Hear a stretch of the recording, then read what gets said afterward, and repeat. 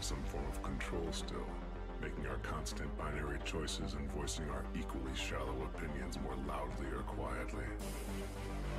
Most people can't even decide what color to wear or which burger to eat. What does it matter, man? Uh, autonomy is an illusion.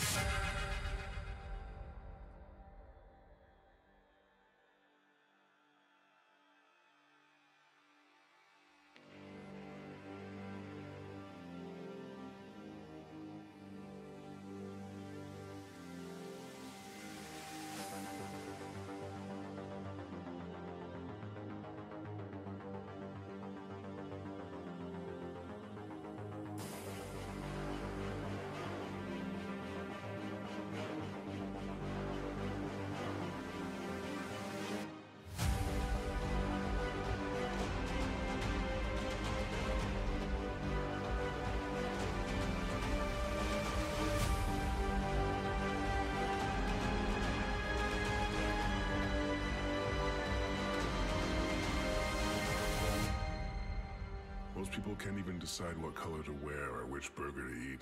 What the does it matter, man? Autonomy is an illusion.